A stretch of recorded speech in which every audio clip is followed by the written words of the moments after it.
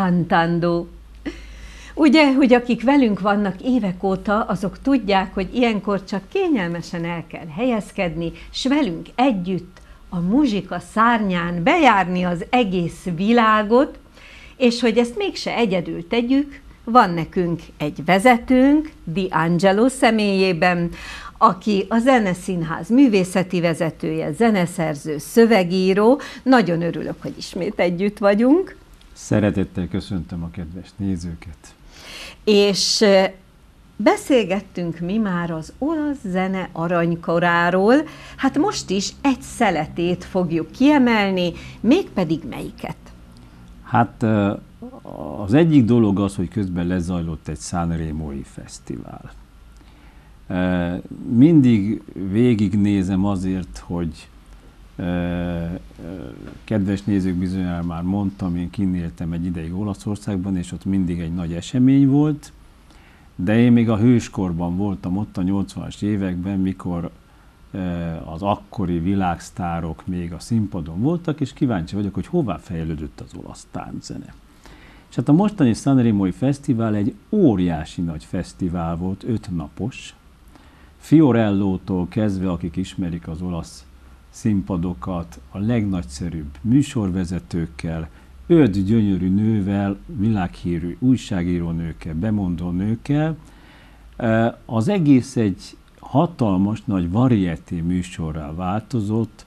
Ott volt Albánótól kezdve mindenki, aki a régi nagy énekesek, és egy show műsor volt tulajdonképpen, közéleti és társadalmi problémákkal is teletűzdelve, nők egyenjogúságától kezdve minden. És ez elfette azt a tényt, hogy maga a bemutatott Sanremo számok, hát bizony messze elmaradnak attól, amit korábban az olasz zene képviselt. Egysikúak voltak, egyetlen egy fiatalabb, modernebb réteget célzott meg, egy, én úgy hívtam, hogy egy ilyen jó nyavajgós műsor volt, mert mindenki panaszkodott benne, tehát nem volt benne szinte egy vidám szám se. Tehát zeneileg egy nagyon uh, visszás kép keletkezett bennem, annak ellenére, hogy maga az egész ötnapos műsor zseniális volt. Tehát inkább Sanrémót ünnepeltük magát ezt hát a... Hát ünnepelték is, mert 70 éves. Tehát pont uh-huh. Mhm. 70 évvel ezelőtt kezdődött el a Sanrémói Fesztivál, és hát ugye az a személyiség, akiről most váltunk néhány szót, az mint díszvendég meg volt hívva 82 évesen, ez Tony Rénis, és 50 éves, mikor az 50. évforduló volt, akkor ő zenei vezetője volt ennek a műsornak, de hát addig bejárt egy hatalmas utat, és erről váltanánk néhány szót, mert én magam sem tudtam, hogy Tony Rénis ekkora nagy zeneszerző volt, és ennyire ismert a világban. Az valami elképesztő. Tehát ő elkezdte egész fiatalon a Celentánónak voltak, volt a barátja, és együtt elkezdték utánozni Dean Martint és Jerry Lewis-t, hát aki az amerikai filmeket régen nézte, az tudja, hogy kik voltak ezek, és ma is a Jerry Lewis mozdulatait a Celentánónak, mikor táncol, föl lehet ismerni tulajdonképpen uh-huh. azt a mozgást. És jártak bárról bárra, színházról színházra, és óriási siker. És akkor elkezdett Tony Rennis dalokat írni. És aztán felléptek Sanremo-ban is, ahol aztán 1962-ben írta Tony Renis egy számot, a Quando, Quando, Quando-t, amit az első szám meghallgathatnak majd a kedves nézők, és hát természetesen nem nyerte meg vele a fesztivált, viszont a tánczenei listán heteken keresztül ez volt a vezető, a, tehát akkor se találta már el a zsűri, hogy a közönségnek mit tetszik igazán, ez azóta is sokszor jellemzővé vált. És ez a Quando, Quando, Quando című szám oly méretű, hatalmas sikert futott be, Ausztráliától Dél-Afrikán keresztül Anglia, Németország, Franciaország, hát az Egyesült Államokról majd külön beszélünk, hogy ez tulajdonképpen meghatározta az egész további életét. Hát szerintem ne csigázzuk akkor a nézőket, hallgassuk meg ezt a számot, és hát azt hiszem, hogy megszokták, hogy nekünk van egy állandó énekművész segítőnk, ő nem más, mint Lili Magóni művésznő, a Zeneszínház primadonnája, és ő vele hallgassuk meg a Quando, Quando, Quando-t.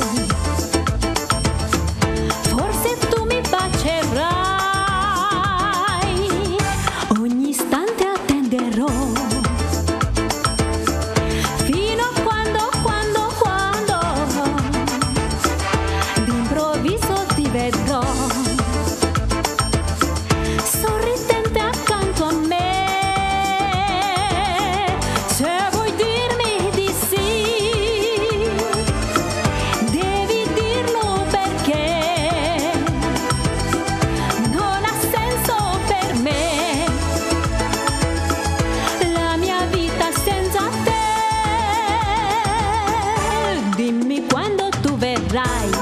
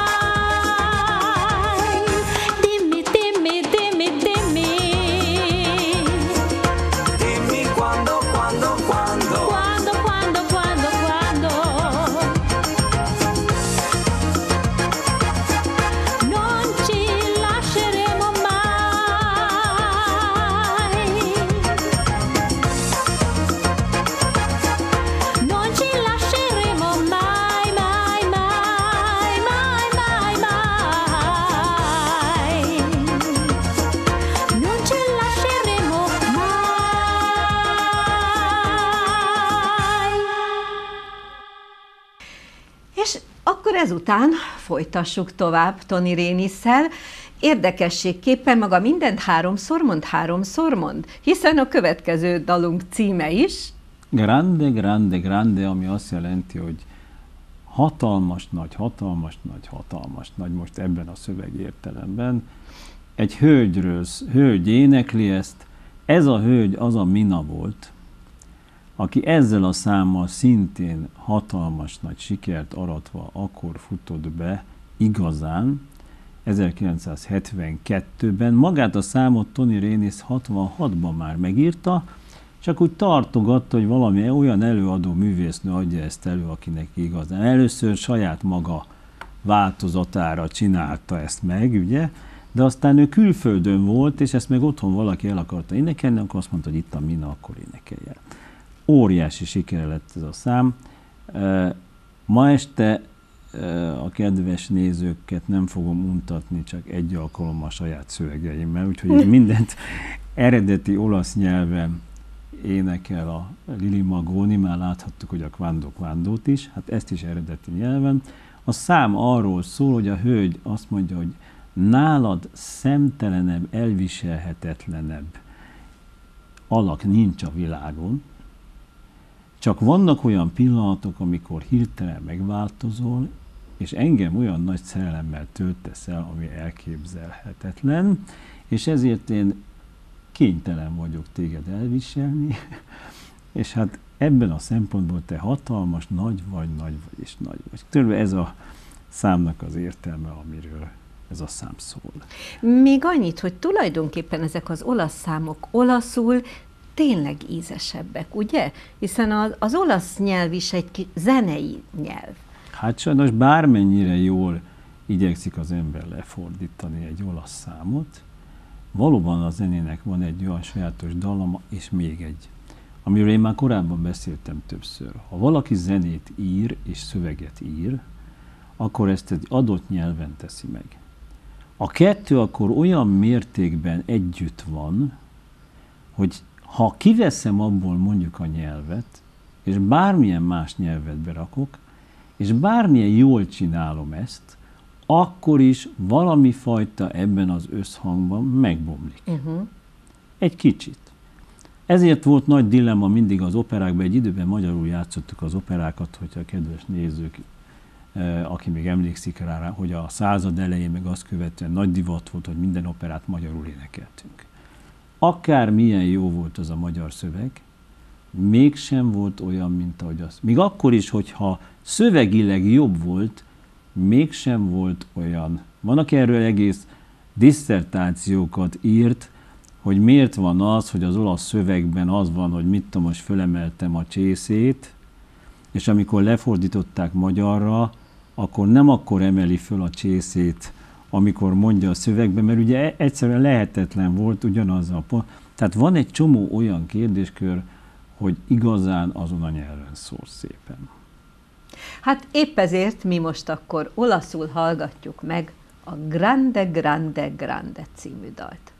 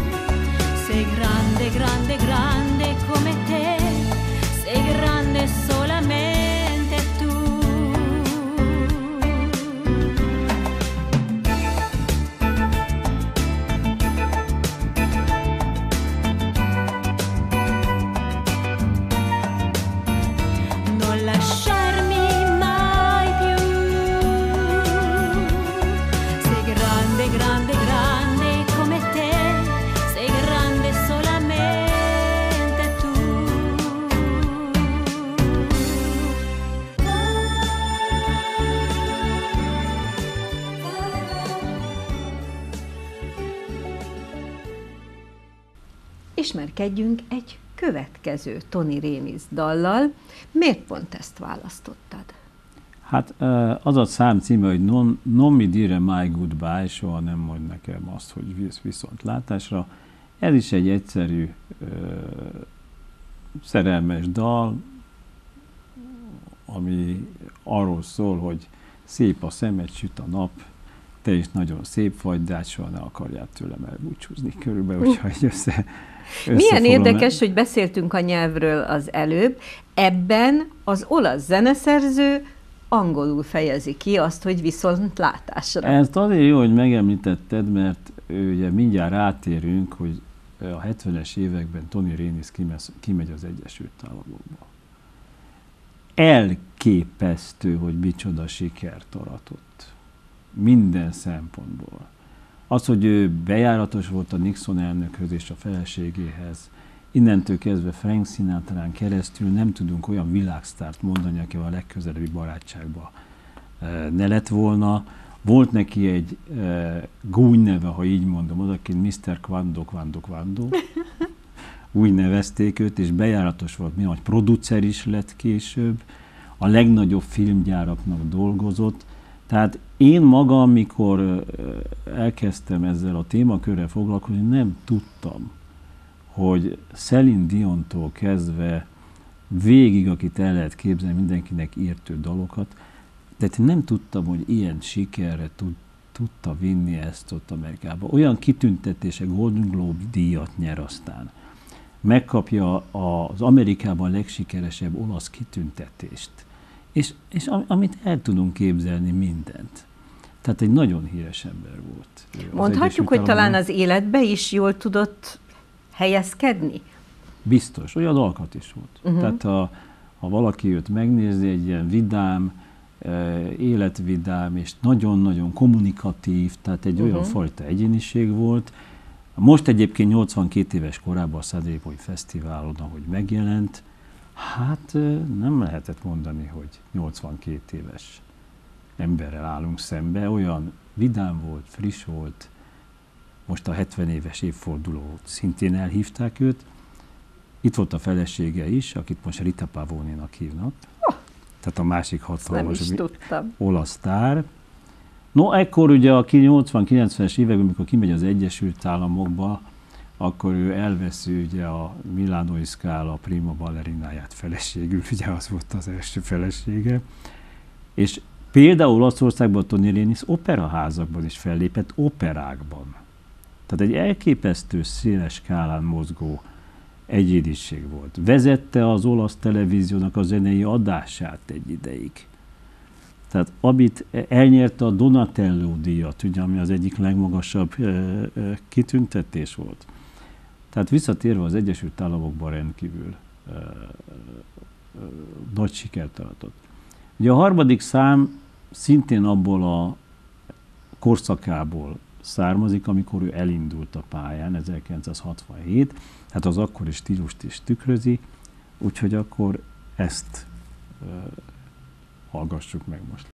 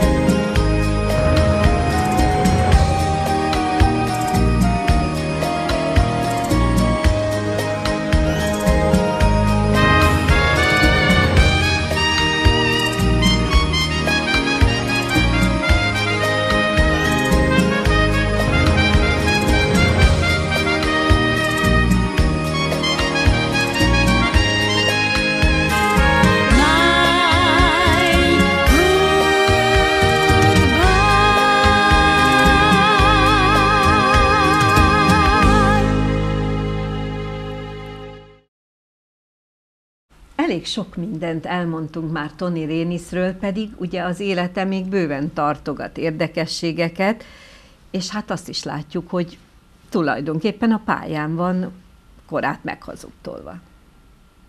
Hát a negyedik szám, amit meg fogunk hallgatni, azt azért választottam ki, mert ugye ez a vidám Tony Rénis, amit, akit itt láttunk az előző dalokban, ez aztán, mikor elnyeri a Golden Globe díjat, és Oscar díjra is jelölik, az egy rajzfilmnek a zenéje, aminek az olasz címe az, hogy a La Spada Magica, a bűvös kar, tulajdonképpen Arthur király kardjáról van szó, a történet pedig egy olyan lányról szól, akinek az Artur király közvetlen testőrségébe tartozott az apja, de meggyilkolták, mikor harcolt a királyért, és a lány fejébe veszi azt, hogy ő a helyére fog állni, és kardot ragad, és kardforgató lesz, és hogy hogyan jut el egész addig, mint bekerül az Artur király testőrségébe, miközben az édesanyja az hevesen ellenzi ezt, és megpróbálja őt visszatenni. Nő kezébe kard nem való,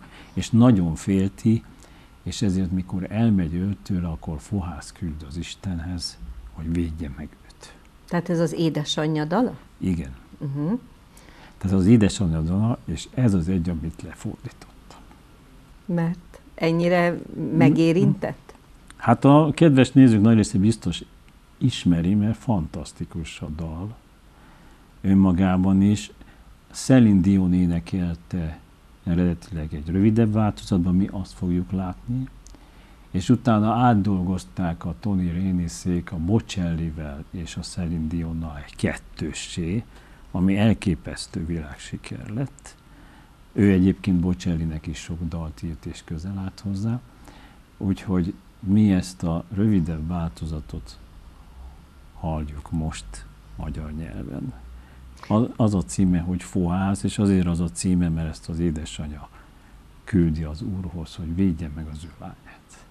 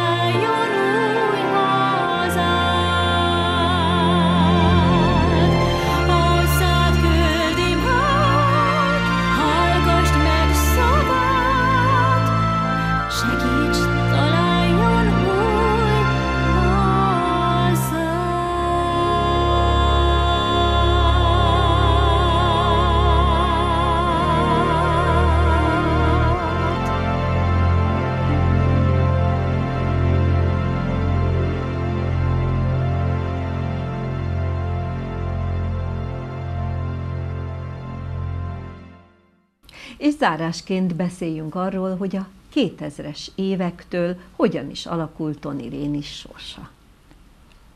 Töretlen lendülettel. Ugye, mint említettem, megkapja a Donatello díjat, megkapja azt a legmagasabb kitüntetést, amit nem is nagyon adtak oda másnak Olaszországban, hogy az olasz zene nagykövete a világban, egy ilyen kitüntetést.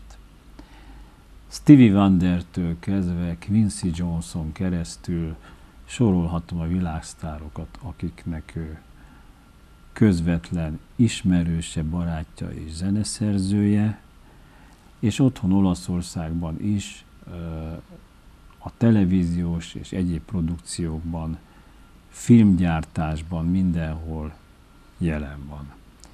Hát említettem, hogy most 82 éves, hát az utóbbi 5-6 évben már kevesebbet lép fel, de egy olyan elképesztő egyéniségről tudtunk ma nagyon keveset beszélni, aki rengeteg dalt írt, nem csak azokat, amiket most a kedves nézők láthattak.